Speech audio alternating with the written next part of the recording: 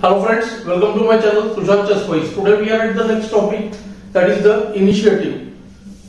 We discussed in the previous lesson of initiative that when we are able to force moves and push the opponent that is what initiative is all about. This is the position from the game Rossolimo versus O'Kelly. Last move by black is qb6, queen attacks the bishop on b5 and there is also we can see more attacks on the d4 pawn. Queen, knight and bishop all the three are eyeing the d4 pawn. If we look at the position we come to know that white is better developed, his center is stronger and black king is still caught on the e8 square. He is yet some moves away from castling and black is trying to grab the pawn a bit prematurely. But what should white play here? Black will get the chance to play e7 and castle and d4 is attacked as well. And c3 might just allow nd4 when b5 is threatened and nf3 will be just a trade.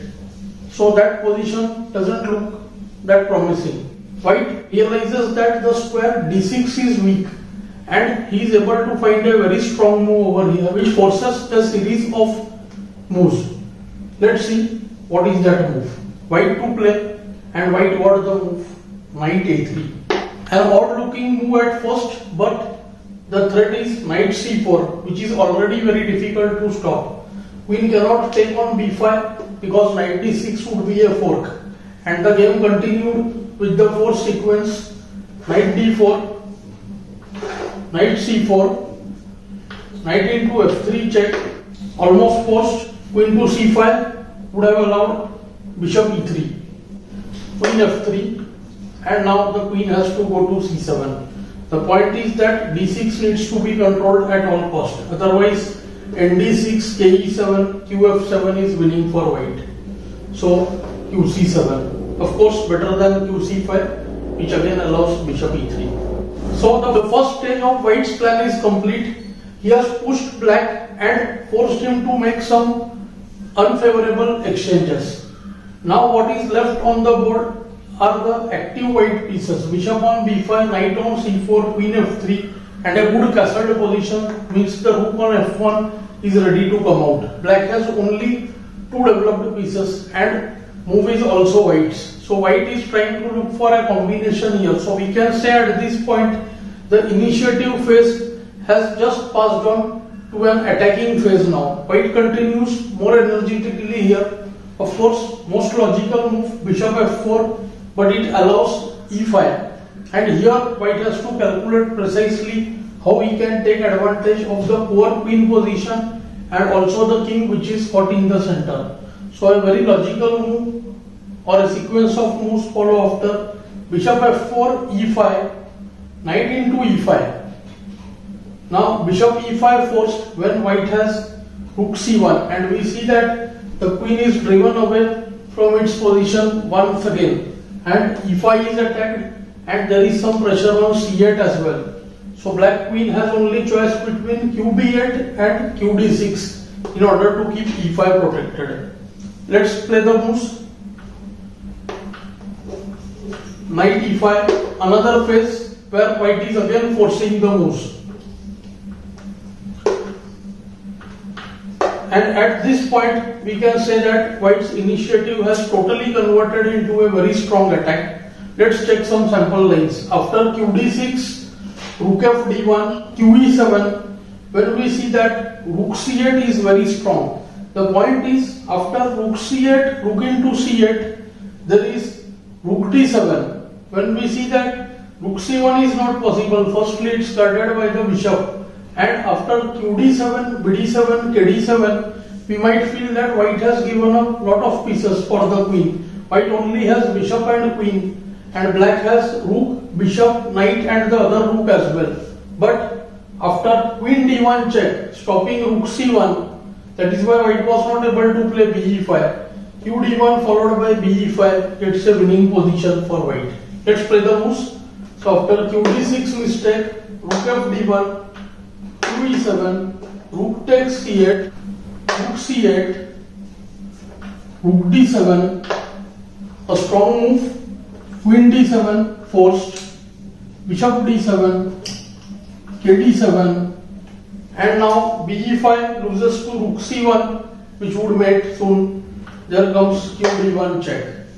Covering the c1 square. After k e6 there will be q d5 check, k e7, queen e5 check winning the rook on h8. So the king has to go away, k e8 perhaps and now bishop e5. Already white is threatening queen a4 check and he can keep the bishop on c3 in order to stop rook c1 and he can win the pawns on the queen side. This position is winning for white. In the game, black went qb8. After the first series of moves, now white gets a winning position. Let's try to calculate what can happen. We can see that the queen on b8 is overloaded, protecting e5 and c8 both. So white played rook c8 check, through c8, bishop e5, forcing black to go f6 and after bishop f6, knight f6, queen f6,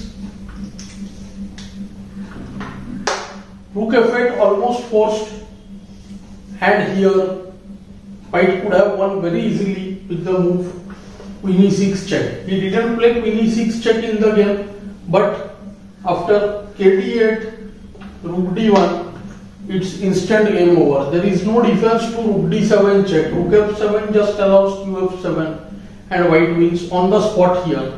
Although in the game, white played the slightly inferior queen e5 check, but the point was if king f7 then comes very strong bishop a4. When we see that bb3 will give a winning position, after kg8, bb3, rook f7, white will be up in material plus his pieces are more active.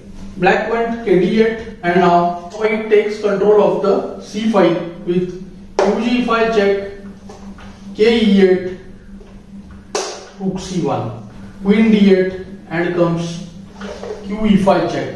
The tactics being after qe7, bishop d7 and after kd7 or c7 it mates on the next move. So qe7 forced bishop d7 king d7 allows our c7 kd8 qe7 mates so kf7 bishop e6 check again same idea queen e6 allows rook c7 winning for white.